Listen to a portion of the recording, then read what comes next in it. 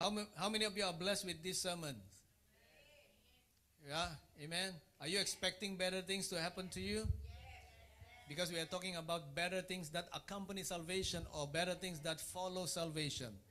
This is yours. This is, I don't just speak this because I want to hype you or you know make you excited, but because this is what the Bible is saying, what God is saying that should you should have, you should experience because he said it he said this in his word. Better things.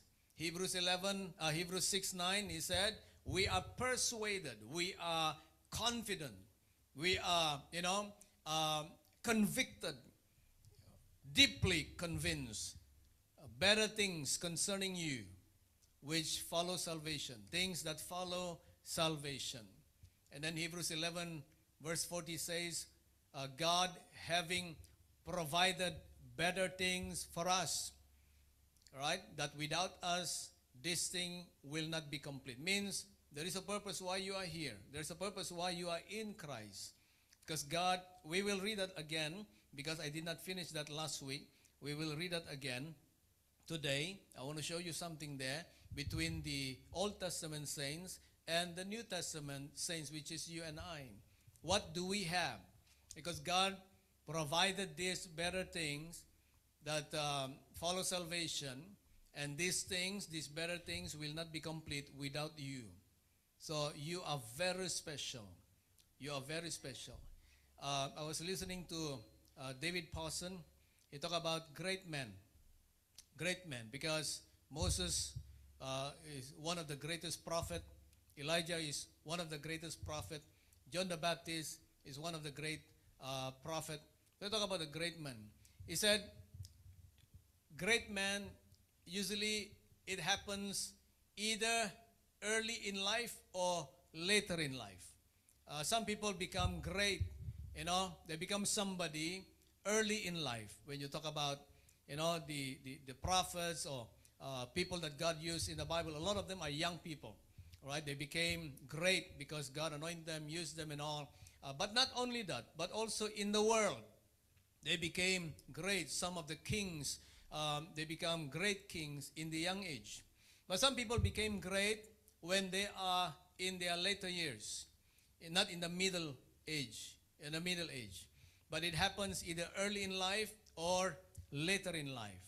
So if, if you have not experienced great things or uh, doesn't make you to become somebody in your early days or younger days, then you need to expect it today if you are not in the middle age.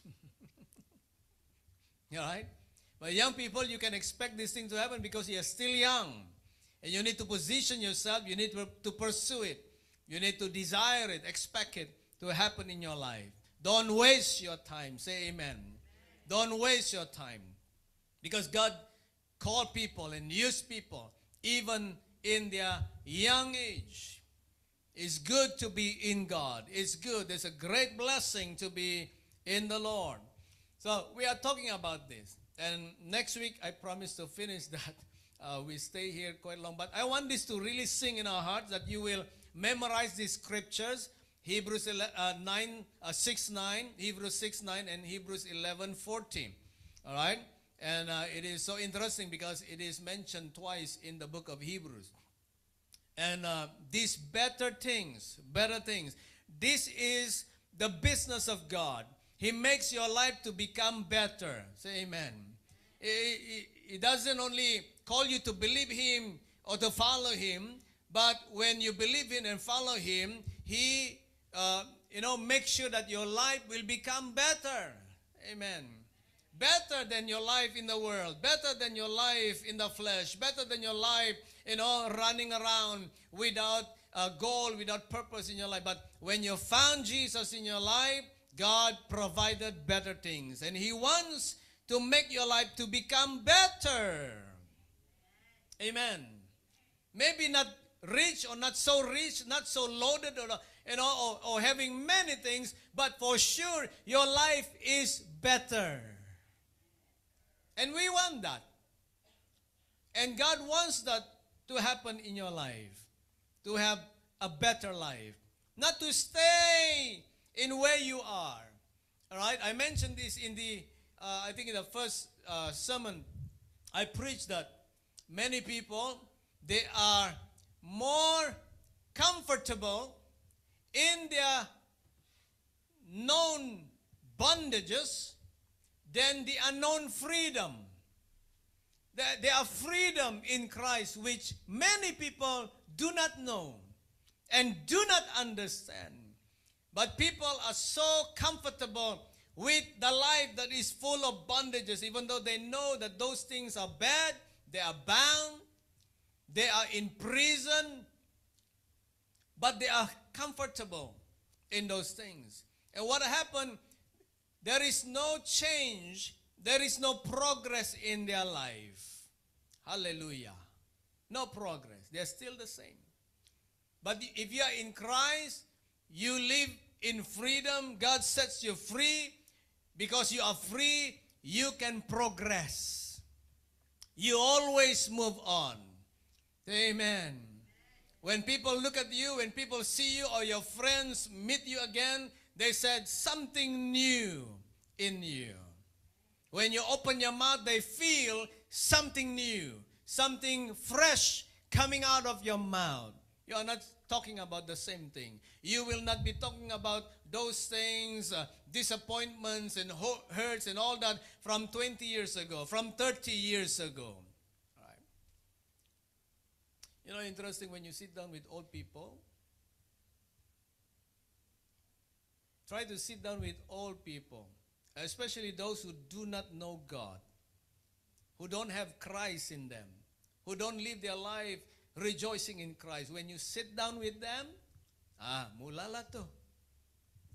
They open their mouth and they said, last time, those donkey years, somebody hurt me. Aya, my son. Aya, my daughter. All this, they talk all these hurts and disappointments. Very seldom old people, when you sit down with them, they will tell you, I am old. I've experienced a lot of things, but now I am in Christ. Wow, I'm so old. I don't know how many years I will live. I'm 80 years old now. I'm waiting for Jesus to take me home so that I can rest and enjoy with Jesus. Very seldom old people you can hear them talk like that. So I hope we will not be like that because we experience better things in Christ now. Hallelujah. There's nothing that we need to regret because we are in Christ. Yes, maybe we experience bad things in our life, but God heals them. God restores them. God make us new. And we need to stay there. And we need to live in freedom. Don't be comfortable with the bondage that we have. I mentioned this. A lot of people, they, they love to drink liquor, get drunk, and all of that. And they are comfortable with that. But they suffer. They suffer. They lose their money because they buy these things and get addicted with these things and all. But they're comfortable. They are happy with that. When you tell them, hey, stop drinking, they said, why you want me to stop? This is the only joy that I have. When you ask, why you ask me to stop smoking? This is the only enjoyment. That, don't you dare to ask me to stop smoking. See, they are very comfortable. But they don't realize the freedom they have. If they repent of that, they are free from that. They don't understand the freedom that they will have. That, that you don't have to be bound with the craving, with the addiction that you have to look for these things, you know. When you go out, eat in the restaurants, you quietly go out, go to the corner because you need to smoke. yeah. That's bondage. And you feel guilty all the time. I need to smoke there in the dark corner. I need to smoke outside. You need to run there because you feel guilty. You don't want people to see. You don't want your family to see. Sometimes I feel bad for my father because sometimes, you know, when, when he go with me last time in the car, he know that I don't smoke. So he, he has to stop, somebody get out from the car. Any chance, any opportunity, he go and, you know, and then come back. You feel guilty. You don't have to feel like that. You need to be free. And these are the better things that God has provided for us. Say Amen. You don't have to put yourself under bondage, that you live in condemnation, you live in guilt. You need to live in freedom, nothing to hide, nothing to be afraid of, nothing to be feared, nothing to be ashamed of, because I am free in Christ. Amen. And this is what God wants you to have. Now, last week I mentioned the first one uh, to position ourselves to experience this better thing because it's not free. Even though God has provided, we need to position ourselves there. You, you need to move towards it. You need to walk in it, live in it. All these things. Number one, when God asks you to do something, God knows that you can do it. All right? A lot of people we cannot we feel we cannot do because we have the problem of self-talk. We talk to ourselves. You cannot do it. You're not worthy. You're not good enough. You know, you're on bodo, all this. Yeah? yeah. So all these things, that self-talk. Don't talk to yourself like that. You need to look at God. Amen. This is what we see. And then the second one, we talk about you are governed, you are dominated by the way you think about yourself. So people are dominated and governed by the way they think about themselves. Our Proverbs says, as a man thinks, so is he. So don't think yourself in a negative way because it will control you, it will govern you. A lot of us, we have potential. I mentioned this. Actually, all of us, we have potential in us. We have potential in us to be great men and women of God. We have potential to be successful people. God created us like that. Amen. God created. You are a champion. Even though you have not gone into, into any competition, you are already a champion. Say yes. You are a champion. Because why? When when the sperm, you know, uh, goes in, uh, they, they were fighting and they were competing. And guess what? You are the one who made it. With all those thousands of sperms, you are the one that made it. You are a champion. You are not an ordinary person. You have potential in you. And we have great potential. But because the way we think, our mind and all, so that dominate us. And we cannot break through and we cannot take hold of this full potential that God has given to us. Amen. I cannot imagine that I can stand like this today, even stand in front of people, going places, and all of that. Because I remember before I know the Lord, I was very shy and I was uh, what do you call uh, introvert, you know, and I like to isolate myself. That is what I am. And I cannot even speak in front, but I had a breakthrough when they asked me to share testimony because I was so on fire. I love the Lord, even though I'm, I was shaking, I was nervous, but I take up. He said, next week you share testimony. So I prepared, I shared testimony. When I shared my testimony, I was sweating. So big my sweat. After I finished my testimony, it was only about 10 15 minutes testimony. But when I finished my testimony, I was soaked in sweat. I remember all my shirt was wet of sweat. But I went through that. But after that experience, it was a breakthrough. Now I stand in front of people and can just preach like that.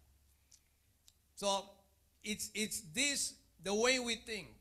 You need to break yourself free from this. The Bible says God has not given us the spirit of fear, but of love, power, and, and a sound mind. And then last week I go into a sowing and reaping. What you sow, you will reap. A very important principle. This is in the word. What you sow, you will reap. So this is part of positioning ourselves in experiencing the better things that God has provided for us that accompany salvation. You need to start sow, sowing good things, sowing good life. You need to sow. It's not, it's not as easy as we think because you need to be careful with your life. we need to keep on sowing. You need to work at it, like sowing good character. You know, um, I, I feel now I feel blessed because of my baby. Why? Because I as if that God gives me opportunity, you know, to go through life again with children. So with a baby. So now I'm I try my best and to be careful in you know handling my baby because I want to impart, I want to sow something good in her life. All right? So I want to be a good mirror to her. All right? I'm not saying my two children not like that, but maybe it's just different. Uh, but they, they turn out to be good children. Praise the Lord for that, right? But uh, I mean, I maybe I did good, or, but I want to do better. So always be better, be better, right? So so so good things. The words that you speak, um, the way you live, uh, the way the way you carry yourself, all right? Because it's a it's a sowing. You are sowing it, you know, in every aspect of our life, every aspect of our life. So we sow, we sow. There are things also I want to do. Actually, I start doing uh, last one two years, but uh, it's not easy. But I try to. Uh, got opportunity, I will do. All right, but that is very personal, and um, praise God. Some of the things um, it's done. I, I managed to do it. Praise God. Um, but there are few few things that I need to. I pray the Lord will help me to ach- achieve that, because we I understand this principle: sowing and reaping. Galatians six seven said, "Be not deceived; God is not mocked. For whatsoever a man sows, that shall he also reap." So these make us to understand we need to be careful with what we do with our life today because for sure you will reap it you will reap it so and usually this happens when we grow older right so we don't want these things to haunt us when we grow older Whatever we can do, we do it right, or we make it right today because you are sowing good life, good character. You need to work on it. You have to work on it. All right? Now, I want to mention this in Hebrews 11. We read from verse 33 to 40. Hebrews 11. These are the people who because of what they did and their trust in God. They put their life in God, even though they have they have to face a lot of risks in their life, persecutions and all of that. But they trust the Lord. And because they trust the Lord, this is what happened. So from verse 33, Hebrews 11 lists all these servant of God uh, because of faith, yeah? Through faith, through faith, through faith, and this is what happened to them. In verse 33, who through faith subdued kingdoms. They subdued kingdom, work righteousness, obtain promises, stop the mouths of lions, quench the violence of fire, escape the edge of the sword. Out of weakness were made strong, became valiant in battle, turned to flight the armies of the aliens. 35. Women received their dead raised to life again. Others were tortured, not accepting deliverance, that they might obtain a better resurrection. Still, others had trial of mockings and scourgings, yes, and of chains and imprisonment. They were stoned, they were sown into, they were tempted, were slain with the sword. They wandered about in sheepskin and goatskins, being destitute, afflicted, tormented of whom the world was not worthy. They wandered in deserts and mountains, in dens and caves of the earth. 39. All these, all these people, all these Old Testament saints, having obtained a good testimony through faith, did not receive the promise. Verse 40 God, having provided something better for us, that they should not be made perfect apart from us. I read this many times, but only recently I saw this thing. Actually, when I was preaching last Sunday, the BM1, so I saw this, I, I got excited. And all the things that these people went through, because they put their faith in God, they live a life that is worthy of God. Maybe not worthy of the world. The world does not receive them, accept them, persecuted them, even killed them and all. But they put their life, they are they do good. That is how they sow in their life. They trusted God. They put their faith, they are so committed to God to live for God, even though they face trials and testings and persecutions. Many of them were killed. But in verse 39, that excites me because he said, All these people, all these people, having obtained good testimony. So, of all the things that they do, they were faithful to God and they live for God. They keep on sowing good things, righteousness, faith, and all of that to God. What did they receive? They did not receive the promise, it says here, but they received a good testimony. they receive a good testimony. And God is so proud of them that God said these things about them. But what excites me is these Old Testament saints received a good testimony. And we can shout amen to that. But I think you can shout louder amen because for us, we will not only receive a good testimony, but God said we will receive a better things. God is so good. You are so meaningful. Your life, you yourself, you as an individual, as an individual, you are special.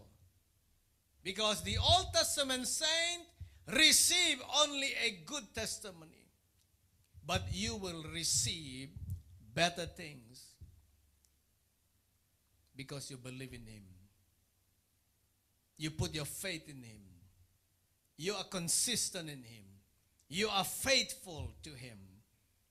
Even though whatever happened in your life, how hard, how difficult life may be, but you hold on to God. You hold on to the Lord. So, church, let us live our life so that we can receive these better things. Because we are different from the Old Testament saints. Another one I want to go in today. Oh, we have plenty of time. I didn't know, yeah? I preach very slow. The other one, and then the, the last point, I will share it next week because something special there uh, in the last point.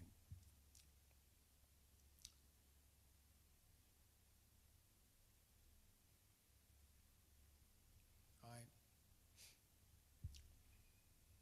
So, change is inevitable, but growth is optional. So if you want to experience these better things, these better things to happen to you, you don't only need to change because change cannot be avoided. And growth is optional. Means you need to make a choice. To progress, to experience all this that God has provided, you need to make a choice. Right? change is unavoidable. If you don't change, one day you have to change. Why? Because not because you want to, but you have to. When you when you tell people who love to drink to get drunk, change, change, change, change until how many years they don't change. But then suddenly, one day you came to them and you found them change. Then you ask them, Why? You stopped drinking already. You change. Then they tell you, Yeah, Lord, I changed because got ulcer already.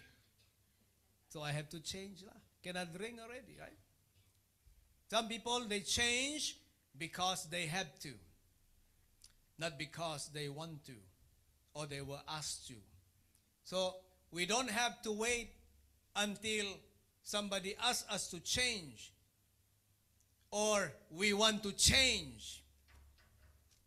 Don't wait until we have to change because of situation or because of health issues. We have to change. Right? Some people they're so stubborn they don't change until it kills them. Right? It kills them. They don't change. Until they have very bad health issues, they also don't change.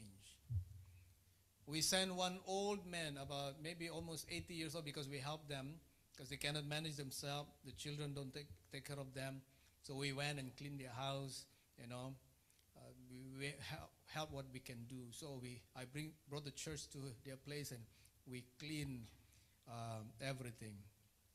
So this old man liked to smoke. So he ended up in hospital. Then the nurse told him, he said, Uncle, please, uncle, don't smoke. He said, I don't smoke already. I don't smoke. He said, When did you, uh, when you stop, how long have you not smoked? He said, Two weeks ago.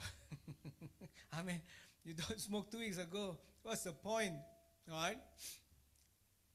But he has very bad uh, health issues.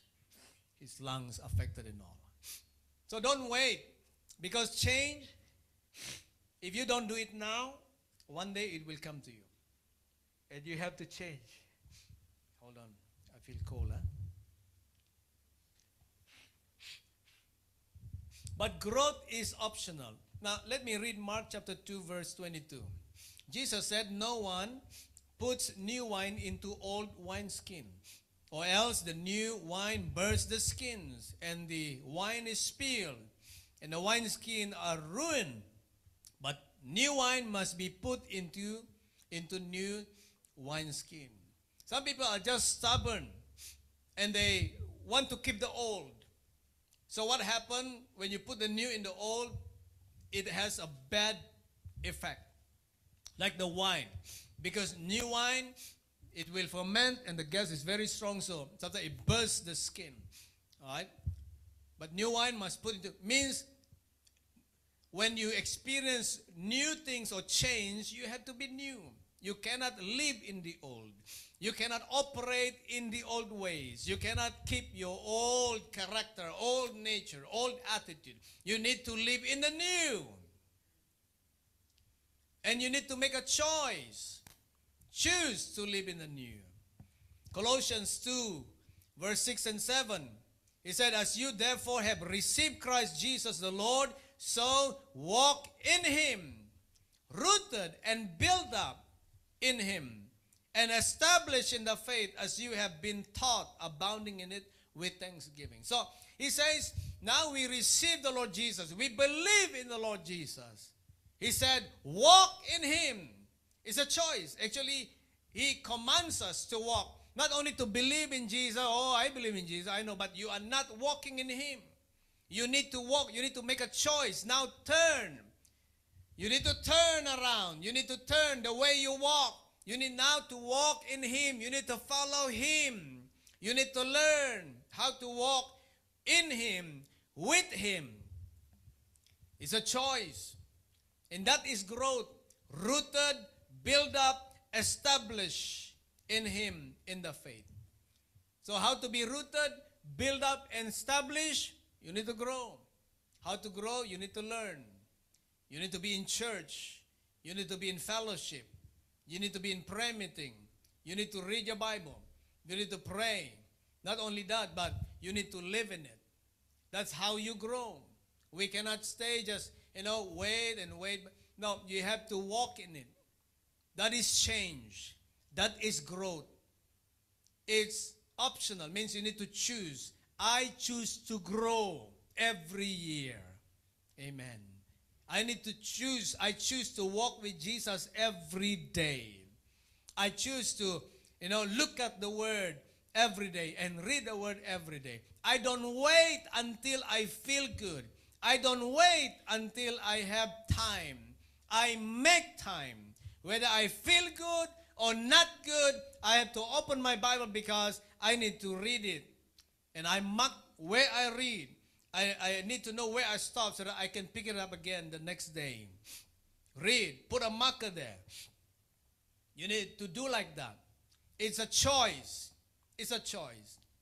It's not like something just happened to me. One day I wake up in the morning, I say, Oh, I love the word. I love the word. It's not like that. It's you build it up. You establish the habit. You grow in the habit of reading the word. Hallelujah. All right? I was with the pastors in the Orang Asli the other day in Cameron Highland. So we have discussion. They said, Pastor, why? uh, I just want to ask. He said, Why? uh, Why? When we read the Bible, wow, so sleepy. Because we're talking about you need to read, you're leaders, you're pastor, you need to read the Bible more. But so they asked a question. They said, Why, Pastor? Just want to ask this question. Why, when we read the Bible, uh, very sleepy? And sometimes, if we cannot sleep, we read the Bible so that we can sleep. But if we read the handphone or play handphone, we don't sleep. We don't even think of sleeping, not sleepy at all. You say, why? I just encouraged them. I said, no, the, the problem is discipline. Because why? Talk about attention is different. Handphone catches your attention. Very interesting. But Bible is different. All right? There are, there are many factors, but one of it is you need to discipline, you need to focus, you need to put your attention there. So whether you like it, you don't like it, you feel good, not good, you have time, no time, you need to make yourself to read it. Discipline. Okay? Bible, this time, this time, I will read my Bible. I don't wait. I don't wait, you know, do everything every day. And uh, why the feeling that don't come yet? Why I have no feeling to read the Bible? So just do my word. Wait for the feeling to come. You don't wait for the feeling to come. Oh, some people, I read my Bible because now I'm very sick. Headache, gut fever. I need God. Oh, God. Oh, God. I read my Bible. If they don't have problem, they don't read the Bible. It's a matter of discipline. You build a habit like that. Say amen. And this is the word of life. When you read this, you have life. If you read handphone, you have no life. Some people are so engrossed with the phone, play game and all of that, but there's no life. You don't get anything from here. Say amen. Now, I'm not saying to you, you throw away your handphone, because if you throw, I will catch it.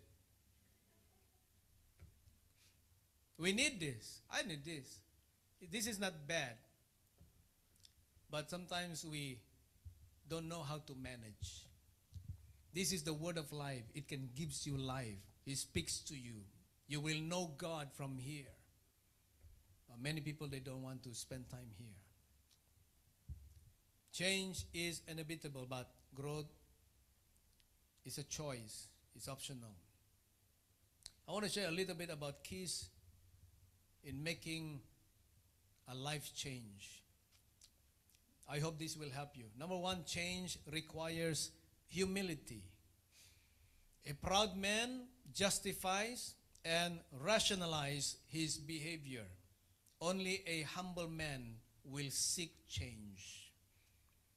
So, change requires humility. You need to be humble with yourself, even with yourself, for change to happen.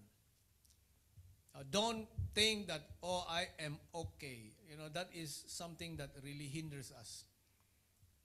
We are not okay. Uh, some, they think they are very spiritual. I'm okay. I'm okay with God. I'm okay, you know. I don't go to church, never mind. I'm okay with God. I pray in the house, what? I read my Bible, what? So, church not important. I go if I go. Right? Uh, some people like this. Oh, I I don't give my tithes. It's okay. I pray. God understand. God understand. I need to pay my bills. God understand. I don't have enough. God understand. Yeah, but I think also God understand that you don't give your tithes. So God understand you don't give your tithes. God close the heavens for you. God understand that. Some people they neglect giving and they argue. Now they become more Bible scholars. They become theologians now about tithing. And they discourage people from giving tithes. So because they feel they are spiritually good, so they don't do certain things. They don't do certain. That is what they call the sin of omission. You omit, omit, omit. I'm okay with God, so I don't do this. I don't do it. I, this one no need. This one no need. All right. God understand. I'm okay, so I don't put myself there to be very committed in all of that. We don't think like that, right? I, I mentioned to you before. I mentioned to you before that even though I'm serving the Lord, I still have a fear in my heart and a question in my heart. If I stand before God, will God said to me, "Well done, good and faithful servant"? Not that it's not that I don't believe in His salvation. I don't believe in Christ, but I have that fear in me. We should be living our life in the fear of God every day. Because if you live in the fear of God, then you will live right with God. You will not do something wrong. You will live straight. You will live holy. You will live righteous. If you live in the fear of God. Uh, some people, they live as if that, you know, they go to heaven like so holy uh, until they overshoot. A lot of Christians like that. Those who are serving the Lord, they feel like that. They are very qualified. So they live their life like very loose. You need to live soberly, live carefully. Even though we know God, we have salvation, we serve God, but we live carefully. Say amen. Until God calls us home. It's very important. Number two, change requires new thinking. You have to renew your mind so that change will happen. You cannot always think in the old fashioned way. You need to renew your mind. Number three, change requires support, determination, encouragement to offset distractions, obstacles, and temptation. This is part of the things that I will share next week. That you you you cannot walk alone. You need support. You need people with you, especially godly people, not church people, not Christian. To be with Christian not enough. You need to be a godly Christian. You need to be around trusted Christian, reliable Christian. Is it is it true or not? You agree with me? Right. Many people they suffer in life. Why? Because they just believe any Christian or any ministers or any servants of God. Because they are servants of God, I trust them. You know, I got disappointed with many servants of God. And I learned it in the hard way. Not all servants of God are godly. Not servants of God, not all servants of God are trustworthy, reliable, honest. Not all. So you need to really ask God to bring these godly, trusted, reliable, honest Christians or ministers of God into your life. Don't believe everything. The devil can disguise himself to be a prophet come to you. The devil can disguise himself to be, uh, to be, you know, apostles or pastors to come to your life. My friend told me somebody that we know. He called himself man of God. Not very far from here. Somewhere in Mars. He said this guy will go to churches and he joined the churches, praise the Lord, praise the Lord. And after that, he will look at the members and he will tell them, he will follow them, and to see where they stay, where they live, where their house is. And after a few days or wherever he wants to come, he will come into that house. Praise the Lord, brother. Praise the Lord, sister. The Lord led me to your house. You remember me in the church? I met you. But the Lord led me, the Holy Spirit led me into your house. So come to the house. Talk to them, impress them. I am a man of God. This is what I do, you know. But he's a con man. Swindle them. And many become his victim. Until it become a police case.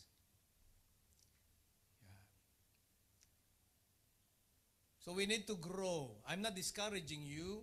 I'm not saying that you don't respect your pastor in all, but you need to discern. Of course, if you are in your church, of course you respect your leaders and pastors. But what I mean sometimes outside, all these men of God, you know, can you believe? Can you believe a prophet, so-called prophet, somewhere on the other side of the world just through the video and Zoom can control a person here in Malaysia. And the person he said, This is my mentor, this is my father, this is my prophet. I receive prophecy every day. He pray for me every day. And every month I give money to him to support his ministry. Can you believe that? That's not healthy. That is not healthy. And sometimes we ask people, which church you go to? Which church you go to? I don't go to church. "Oh, Where's your church? My church is online. Who's your pastor? My pastor is not here. My pastor somewhere on the other side of the world. We meet in the video. That's nonsense. Huh? That's nonsense. Change. So you need support. You need godly people. You need somebody that can talk to you, can mentor you, can guide you, can walk with you. You can call them anytime and talk to them, share your problem and all of that.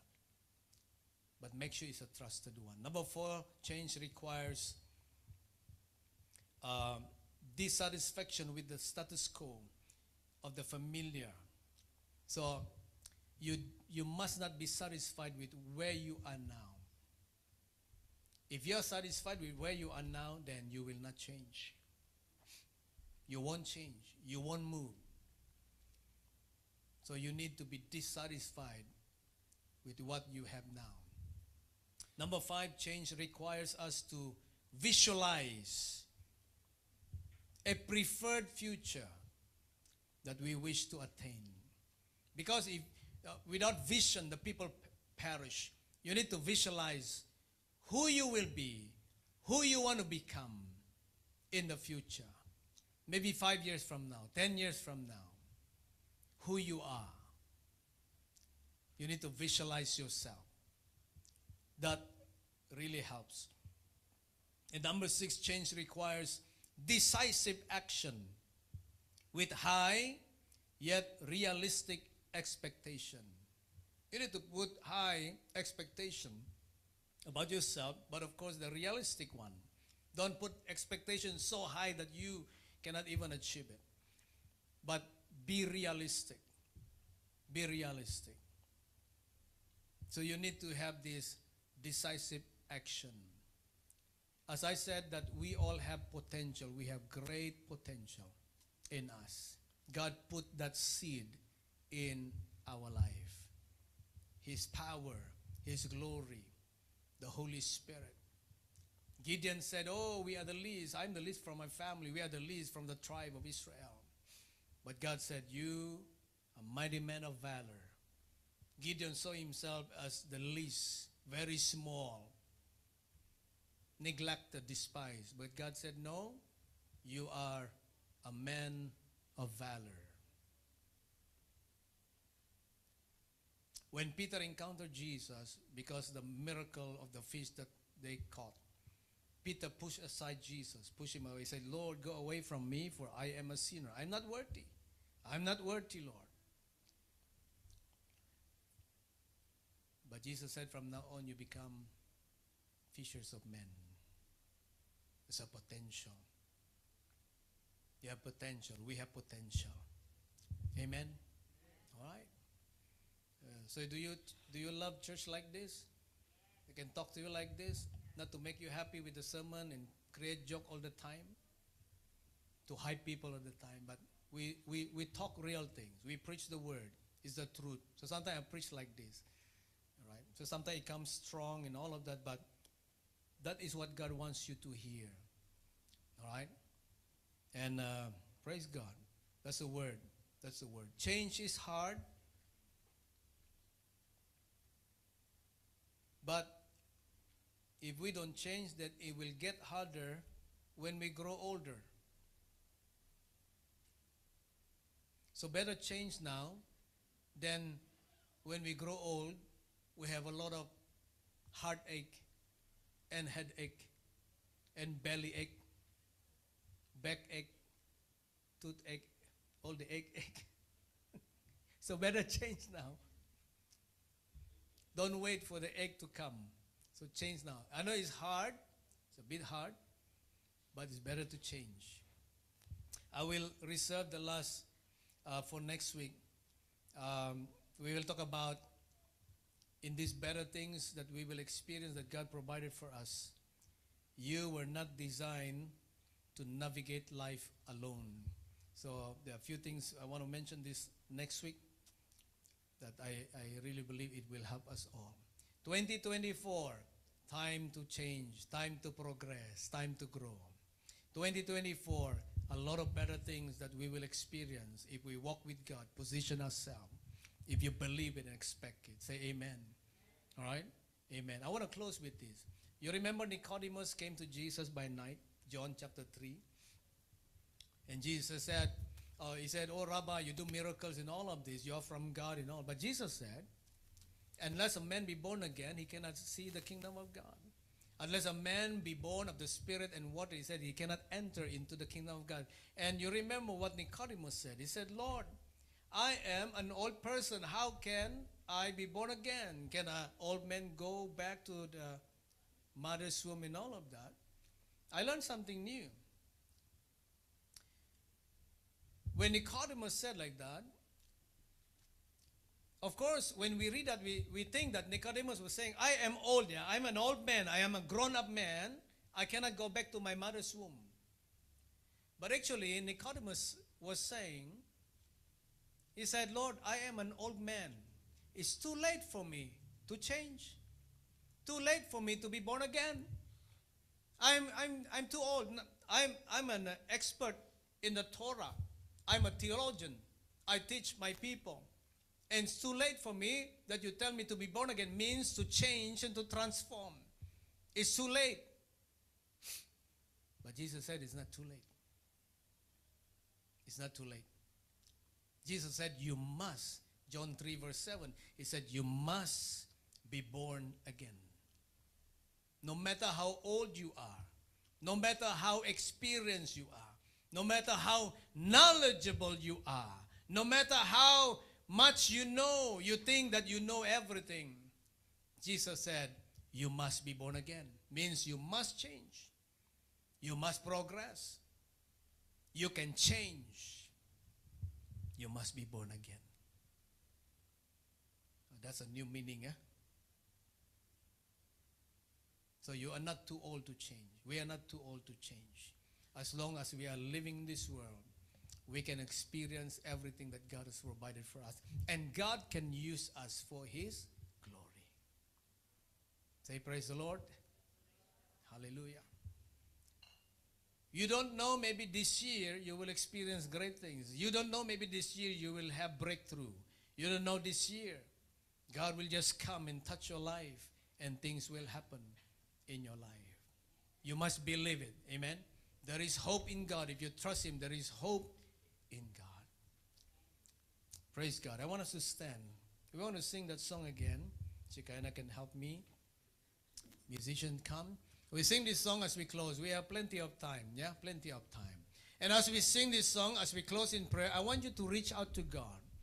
Tell God, Yes, Lord, I thank you for the better things that accompany salvation. I thank you for the better things that you have provided for me. It's mine. It's for me. And I want it. I want to experience it. I want these things to happen and to come into my life. Can we do that? You have to do it. I cannot do it for you. I just lead you in prayer. I just lead you. You have to do it. Say, Lord, touch me. I want this. I want healing. I want restoration. I want change. I want to be transformed. I want miracle to happen in my life. I want you to reach out to God. I want you to cry out to God. Cry out to the Lord. Hallelujah. Amen. Let's let's sing this song. I need some backup here. Is my backup here. Thank you, Jesus. Uh, you know, one of the one of the things that we need to do in praise and worship, you have to participate. You have to open your mouth. You have to, uh, you know, lift up your voice and open your heart. All right. Uh, you don't. Many people in the church they let the singers to sing for them. We are not singing for you. I sing, I sing to Jesus, and the song become my words. The song become my prayer. So you sing, you sing to Jesus. Let these words become your prayer. And you talk to Jesus personally. You pray and sing to Jesus personally. Amen?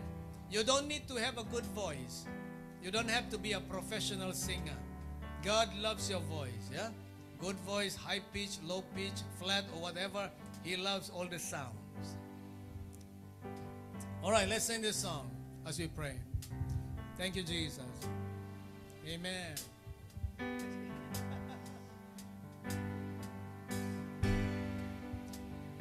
am my end just getting started. When I hit a wall, you just walk through. Very meaningful words. It's a mountain. You are the maker that has got the moon. Come on, say it to him. When I'm out of faith, you still still faithful. When I'm at my worst, you are still good. Questions, you are the answer. It all points to you. Come on, lift your voice, everybody. You're the God of the breakthrough. When I'm breaking down, you'll be working away. When there's no way out, this one thing I know, you're still on your throne. So whatever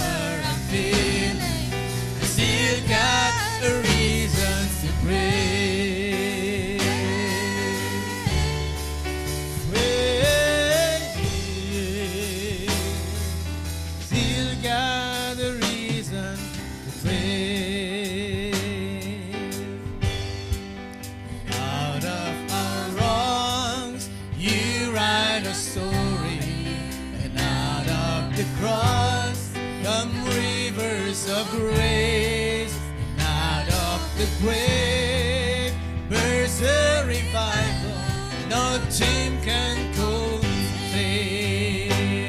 Yes, come on, sing it. You're the God of the breakthrough. When I'm breaking down, you'll be working a way through.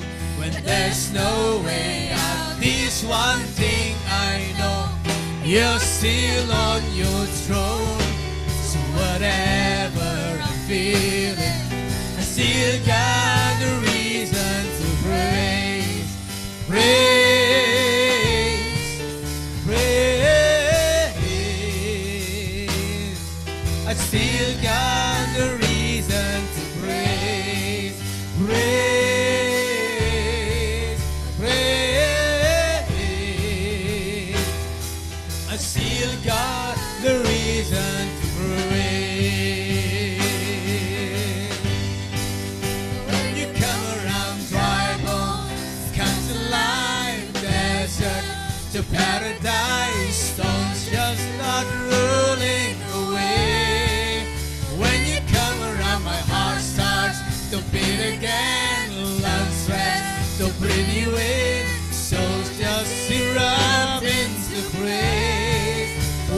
come around, tribal Come to Yeah. life, desert to paradise. Stones just start rolling away. When you come around, my heart starts to beat again. Lungs stretch to bring you in. Souls just erupt into praise.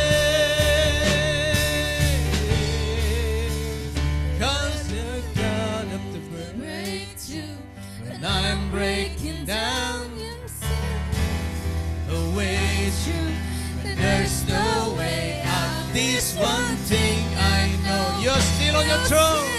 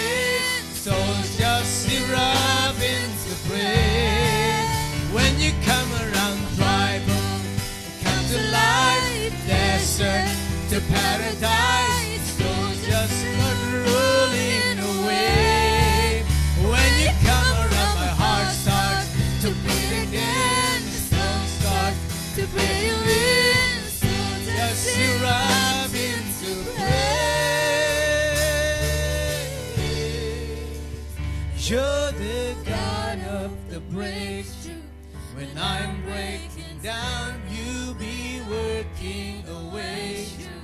When there's no way out, this one thing I know, you're still on your throne.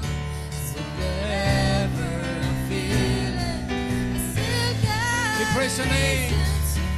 We praise your name. Jesus, we praise your name. Thank you for your faithfulness. Thank you for your promises. You are alive, Jesus. We praise you no matter whatever circumstances in our life, in our feeling and all. We praise your name because you are faithful. You are always there. And we can trust you, Lord.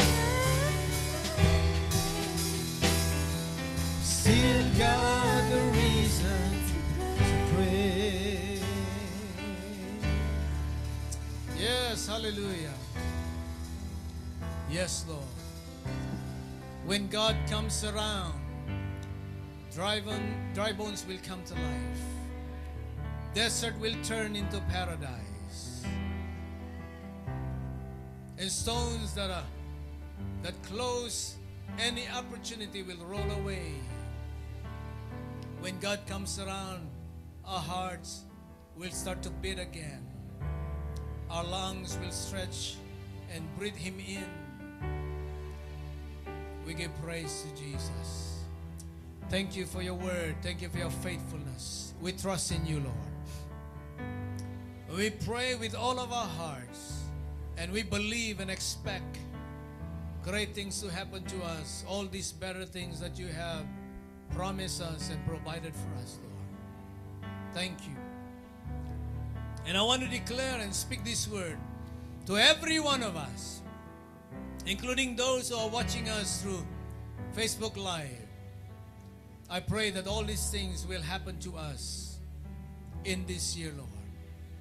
That we will see our life will be better because of these better things. We thank you, we praise you. Before we close, I want to pray that you will move in our midst by your spirit and your power. You minister to us, touch us in every area of our life. Touch and bring healing and restoration, Lord. Holy Spirit, move and move in our hearts of your people. Thank you, Lord. Rain down your Holy Spirit. Rain down your Holy Spirit and pour out your blessing upon your people today. Healing, restoration. Let the power of God touch your people, I pray. Thank you for this, Lord. We love you, we praise you. In Jesus' name we pray. Amen. Amen. Give the Lord a clap offering, and you may be seated for a while for the announcement, uh, the, the offering, that announcement. Thank you so much. Hallelujah. You enjoyed that today? I believe you enjoy it, yeah? Wow. Hallelujah. God is so good. God is so good. All the time, yeah? Yeah. I feel like I'm very full now with the word.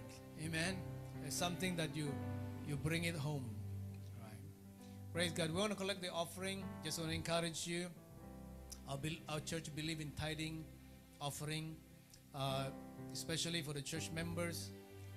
You know, you know the uh, as a church member we give our tithes to the church, not only offering. All right. So let's support the church. Um, we have a wonderful church here.